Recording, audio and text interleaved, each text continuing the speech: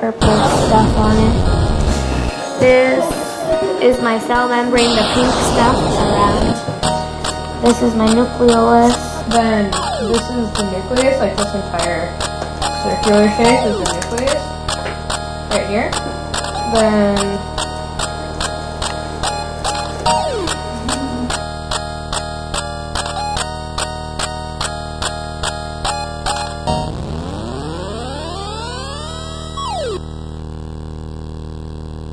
And then I went and I got a plastic bag and it was full of air, but I inflated it and that's my vacuole. And then here's my nucleolus and nucleus. And then I have zippers for the DNA because it's like, I don't know, it's like DNA. Hey, this was my first time assigning this project of a 3D cell model. Um, I was so surprised by the high quality of projects that came back. We did go over the rubric and what they needed before they went home to create their awesome models. Um, but um, they did have a little bit of brainstorming time in class as well. Check, that one was ridiculous. That's gelatin right there. Um, created each one and covered it with, with jello and it did rot over the time. That girl in the red sweatshirt, she sewed everything from scrap fabric around. Um, kids made a uh, key if they did not label them directly. Um, using, look at just cardboard and Play-Doh there. Pretty simple. Now the whole seed is the whole cell isn't 3D, but um, the, the learning obviously took place. It's not just a paper plate. Some kids just wind up getting Play-Doh in a plate, which which does actually work if everything's labeled and they can come back and, and tell me what all the organelles are. They learn the functions uh, a little bit later after this, um, but after they make them and they see them and they know their names, the learning comes a lot easier.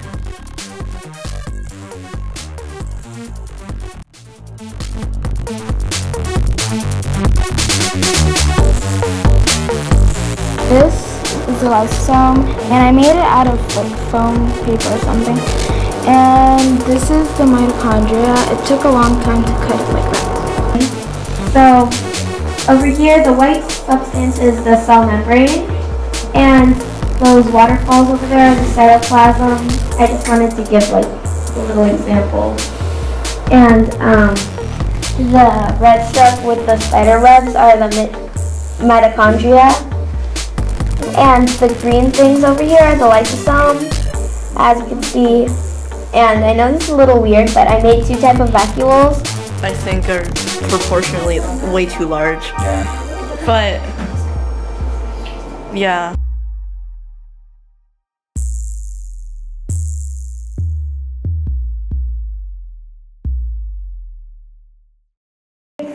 I made this whole thing out of Play-Doh. It's not rotting yet. That's so appetizing. It's old don't enough. So this is the key. You have the EL is just chocolate fettuccine. The Golgi is normal fettuccine dyed red. Lab These peanut M&Ms for the vacuoles, and I used um, the string Twizzlers for the cell membrane. The lysosomes, I decided to make them out of um, the The reason uh, I kind of like it and don't like it is because I use things that you can just get and you don't really have to do anything for it. Yeah.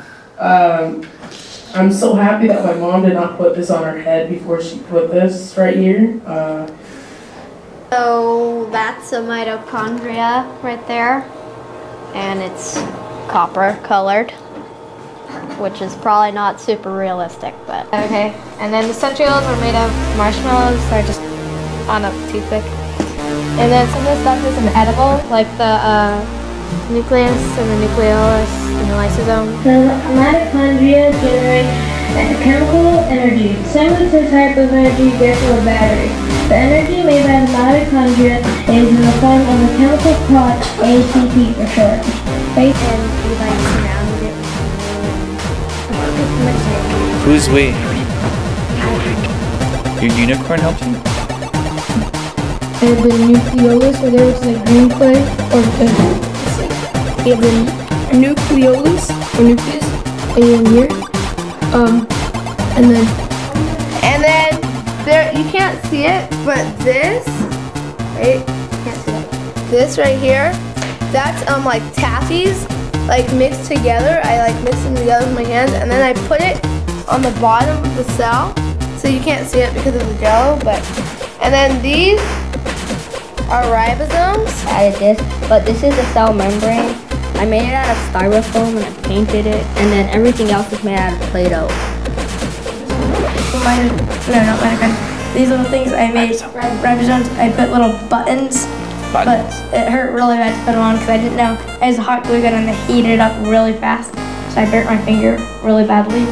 Um, and the Golgi is clay. It looks great. Great job. Yes!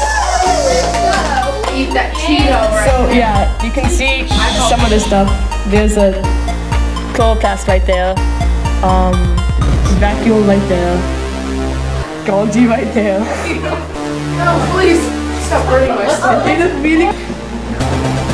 I just grabbed different pots that I found at home that weren't needed to be used at all, um, that were full cloth. So I just, yeah, floated all together. What was your favorite one to sew? My favorite one to sew, um, I think it's the mitochondria. Okay, right there. Yeah, because Can I squish it? Yeah. Whoa, it makes a weird sound. I do all my organelles, all, all the functions right here. But I mean, I painted it, but that's one issue that I have. The paint it kind of dried and then kind of came off. Yeah. Um, so basically, I made my organelles out of clay and some of my dad's fishing lures. So So the some of the pins are ribosomes, and you use pins to put everything together, huh? yeah, So you didn't use any glue. And yeah. Okay. Um, and it kind of broke like a lot as I was walking to school yesterday, but it's like Do you think real cell membranes sometimes tear? Yeah. Possibly. So, yeah. For the membrane? Yeah, because I didn't have enough clay and not all of it could fit. So everything is made out of modeling clay. So if Play-Doh. And I looked up on the internet, um, that like organelles, animal cell, and I found it. was like like pins to pin them down so they wouldn't fall off. Yeah. And then um, I found this like little ring thing. happy lemon, angry lemon, dancing lemon, flying lemon, surprise lemon. So I try to organize. I'd be like, oh, who's supposed to say up? Who's supposed to say Hey, slap a comment on this video and I'll send you the PDF for the rubric for this project. Great job, everybody.